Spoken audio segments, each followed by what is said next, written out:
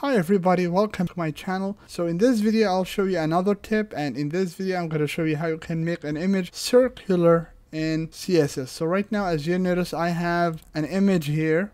So this is my image and right here as you notice if we look at it on a browser it's so huge so we'll be able to resize it first and then we'll be able to make it uh, you know circular.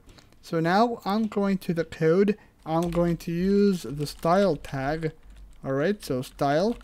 And I'll be able to simply select that image. And because I have only one image I'll be able to simply type in image.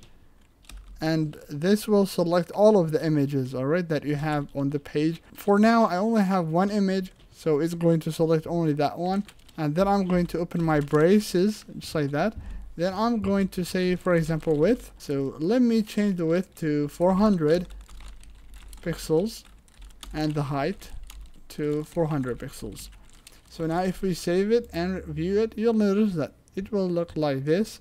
But now let's make it circular. So if you want to make an image like a circle what you'll need to do is that you'll have to use border radius alright? So border dash radius 50 percent.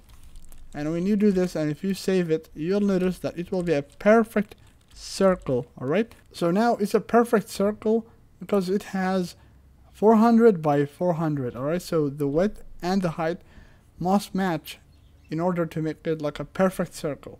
But if I change this to for example uh, 100 by 150 so you'll see it's not going to be a perfect circle but it's going to be like that. You see uh, it's like an egg because you know we have more height than the width so now what I can do is that I can make them the same. So for example 150 by 150 and if I save it you know it will be a perfect circle. So I hope this video was helpful. Don't forget to like the video and subscribe to my channel. Thanks everyone and I will see you all in the next video